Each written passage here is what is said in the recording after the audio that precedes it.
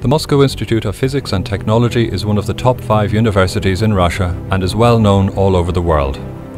Since its foundation in 1946 as a department of Moscow State University and later as an independent organization in 1951, MIPT has been highly regarded by scientists, students and engineers alike. The MIPT University Industry Partnership System was introduced by our first professors, the Nobel Prize winners Kapitsa, Semyonov and Landau. It selects talented students, provides them with a top class education and an early entry into industrial research. MIPT scientists perform cutting edge research in the fields of fundamental science. We push the boundaries of human understanding, create new technologies, and help to improve the world.